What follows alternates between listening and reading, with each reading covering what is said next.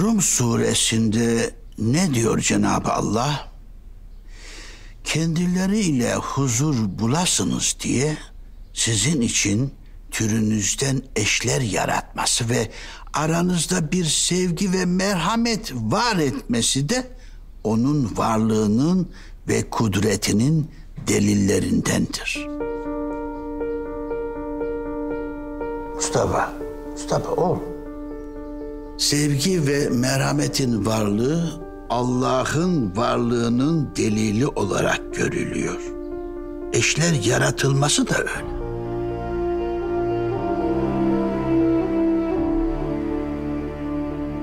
Nisa suresi 35. ayette ne buyuruyor Cenab-ı Allah? Eğer karı kocanın arasının açılmasından korkarsanız erkeğin ailesinden bir hakem, kadının ailesinden bir hakem gönder. İki taraf arayı düzeltmek isterse Allah onları uzlaştırır.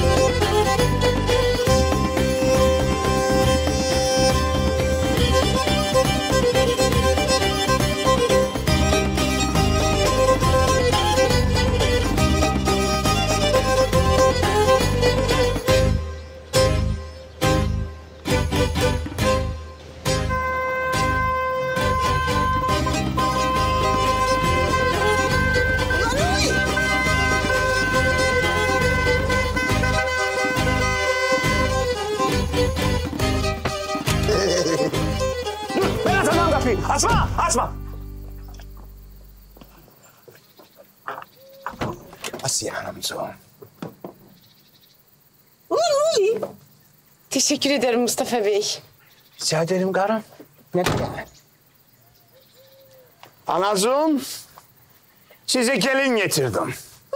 Siz önce gelin getirmeyebilirsiniz zaten. Asiye Hanımcığım, sizi burada bırakmayırım.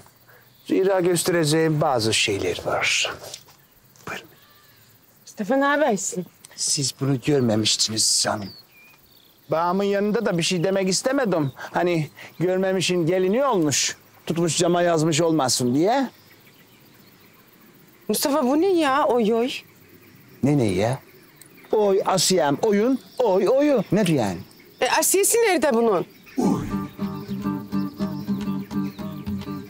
He ben anladım. Bir daha seni boşayıp başkasından evlenirsem oy Eminem oy oy Hatice'm oy yazarım diye değil mi? Hatice, Ayşe, Emine.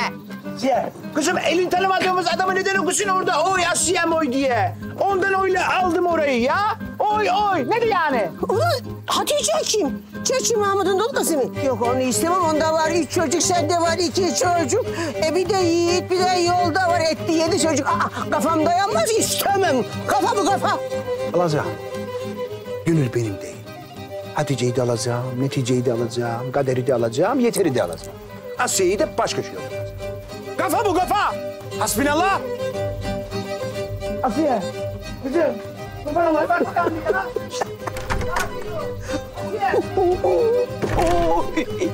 El birliğiyle delirttik sepet kafayı.